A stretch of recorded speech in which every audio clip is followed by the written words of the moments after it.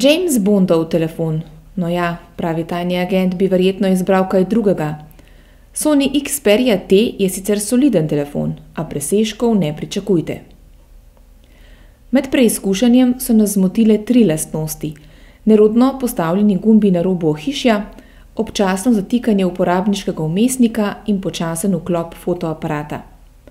Manj zahtevni tega morda ne bodo opazili, toda če telefon oglašujejo kot prvo izbiro slavnega agenta nič nič sedem, so temu primerno višji tudi kriteriji ocenjevanja. Po strojni plati mu ni kaj očitati.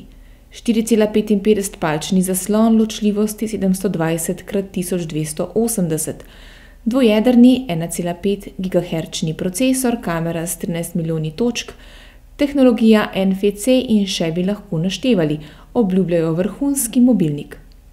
Žal pa so ga preveč nakičili z nepotrebno programsko navlako, ki je glavni krivec za občasno zatikanje in izgubljanje živcev, ko vam skušajo na vsakem koraku povedati, da je to James Bondov telefon. S čistim, nepredelanim androidom bi bil Sony Xperia T vrhunski telefon, tako pa mu težko podelimo več kot oceno minus prav dobro.